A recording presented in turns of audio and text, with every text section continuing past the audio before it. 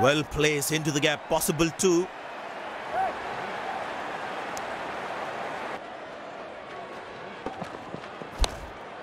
Good shot for a single.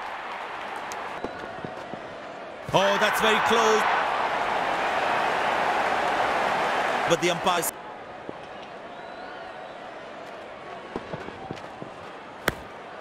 Good shot for a single.